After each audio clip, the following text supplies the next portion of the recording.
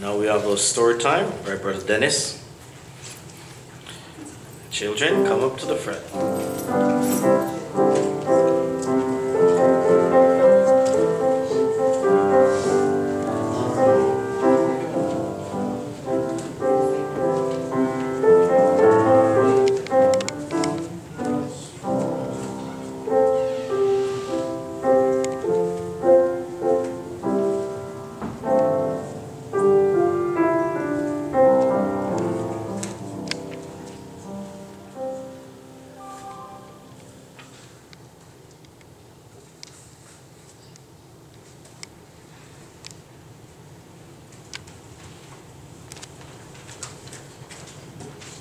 Turned off completely. Now we should be good. Okay. My hair gets any thinner, I'll be wearing one of those to have something on my head. What? You didn't see it? Reindeer. what? A couple of weeks ago, we had Veterans Day. I've been thinking about that. Now, I'm not a veteran. You know, I'll tell you that right, but I'm not a veteran yet. Uh, I'll, I'll tell you why that's true, but uh, I will be eventually, I think. But uh, it wasn't that I didn't try. I was, when I graduated from high school, I actually wrote the draft board, because at that time they just draft you, hey, you got to come to be in the Army or the Navy or something. And uh, they would just put you in. Didn't have a choice. And so I actually wrote them and said, hey, I'm just graduating from high school. If I'm going to go in, I don't want to break up my college, you know, draft me now. But luckily, it was that time of the um, world events, you might say, with Vietnam, that they were closing that down.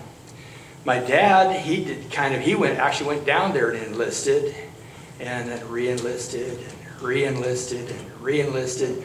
They didn't want him. He was, had some medical issues, and uh, they didn't want him. So that didn't work out for him. My cousin, now uh, going back, in high school, a church says, you know, you, if you're going to go into the military, try to be a non-combatant. In other words, don't carry a weapon. And so what they did is they had what they called medical cadet corps training. And so in high school, they opened up medical cadets. And so you practice like you're in the military. You learned how to march, say yes, sir, no, sir. And, but they had a lot of medical training in their first aid. And so he learned first aid in high school. And uh, my cousin did that. And when he went into, the, he got drafted into the Marines, and he goes, "Hey, I got a first aid certificate, you know." And I says, "I'm not. I'm a non-combatant and all that." And they go, "Well, then why are you here, you know, in the Marines?" Because the Navy does all our medical stuff for us. And he goes, "Well, that's where I'm drafted." And so they asked him if he would train with a gun, you know, at least for marching. He goes, yeah, I'll, I'll do that, you know, because they didn't, there's no medical in the Marines. So he did that, and they, well, you mind shooting? No, I don't shooting. I'm not going to shoot at a people target. You know, they have the silhouettes, you know, of a person. He just wants to shoot, you know, into the body, you might say. And uh, he wouldn't do that, he says, give me a round target. So what they did is they gave him the round targets they used for testing for, you know, sharpshooter, expert, or advanced, or just that you can shoot. And so they, he did that, and he's knocking the center out of targets all the time. And they go, I thought you were non-combatant. He goes, that doesn't mean I'm not a hunter, you know. so he was the best shot, so he, he actually was training his own class uh, how to shoot well. And uh, then they put him for office work and some other stuff. And uh, I was always impressed because when pick, we picked him up one at Camp Pendleton one time, he just got through running. Can't remember how long it was. It's, I think less than uh, like 45 minutes or 55 minutes, something like that. Eight miles. That's a, with 90 pound pack on his back.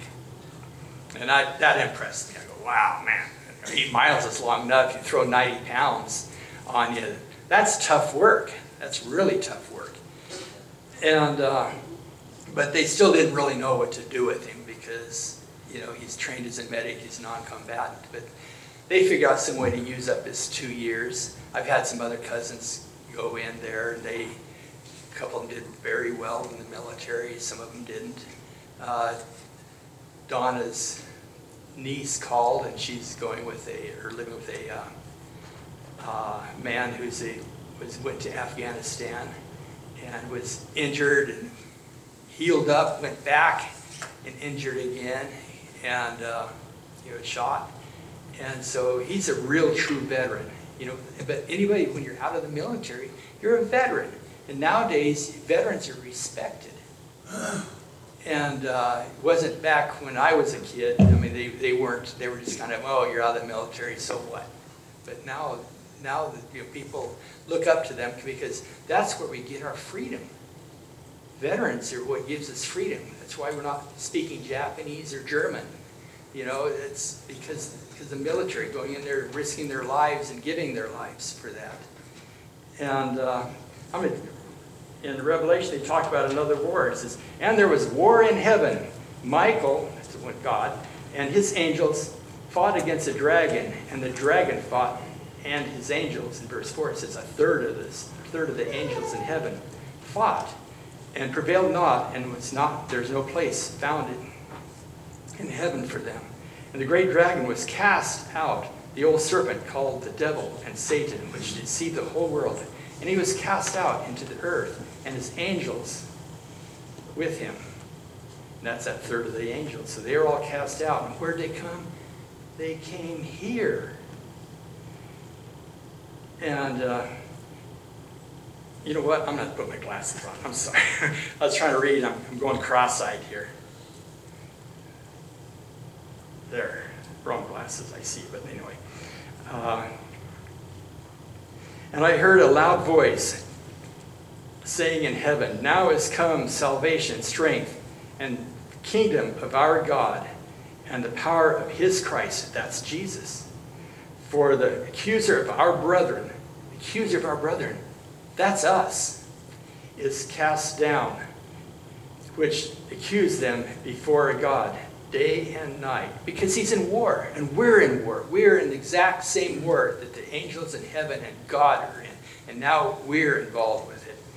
And they over they and that's us again, the, and they, us, overcame him by the blood of the Lamb. That's Jesus.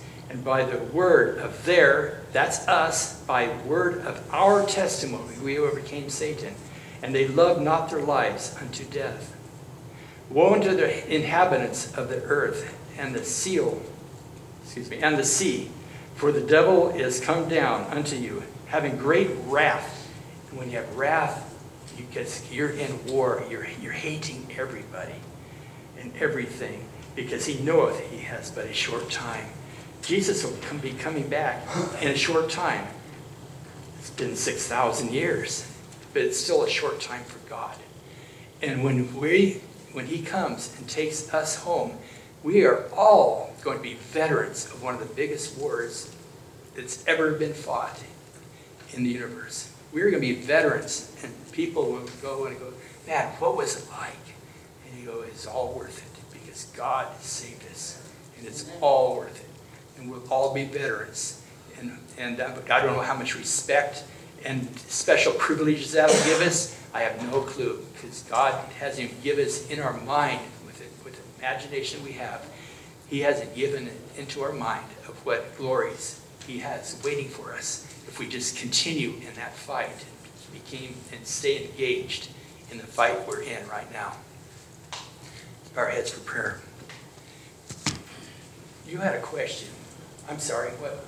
Um, was those like circle targets one of those like top, like the target sign? Yeah, it's a, it's just a, the target was about that big, but there was circle, circle, circle.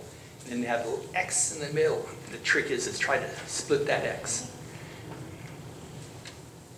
Dear Jesus, I want to thank you for holding your hand through the war we're in, for taking care of us, and giving us a promise of eternal life, eternal presence with you. And I just want to thank you for that and for all you've done. Thank you for the Sabbath. For Jesus' sake, amen. Back.